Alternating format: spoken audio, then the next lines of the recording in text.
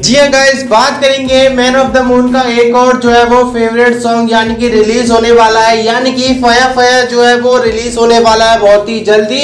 अगला नंबर जो है वो हार्डली यानी कि बहुत ज़्यादा चांस है कि फया फया ही रिलीज़ हो। और इसकी जो है वो कई सारे नए लोग हमें देखने को मिले हैं वेंकट भाई की तरफ़ से। जी हाँ गाइस अपनी स्क्रीन पर आप लोग देख सकते हो। वही बात करी जाए, जी हाँ गाइस चांसेस हैं कि ये इस, ये गाना इसी महीने के अंदर आ जाए। नहीं आएगा तो अगले महीने आएगा, क्योंकि जी हाँ गाइस बात करी जाए टी सीरीज़ ने जो है वो, यानी कि टी सीरीज़ की दो मूवीज़ आ रही है, उनके गाने को निकालने में टी सीरीज़ बिज़ी है। तो कह सकते हो, इस गाने के लिए भी अगर एक स्पेशल डेट निकाली जाएगी।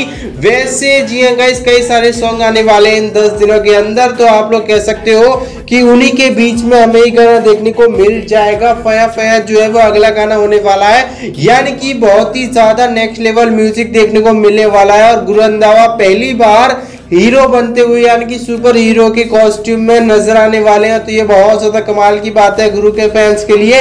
यूट्यूब का एकमात्र चैनल जो आपको रेगुलर अपडेट देता है, गुरंदावा की। Subscribe now for more videos तब तक के लिए हम शेख फया फया, कैसा लगा कमेंट नाउ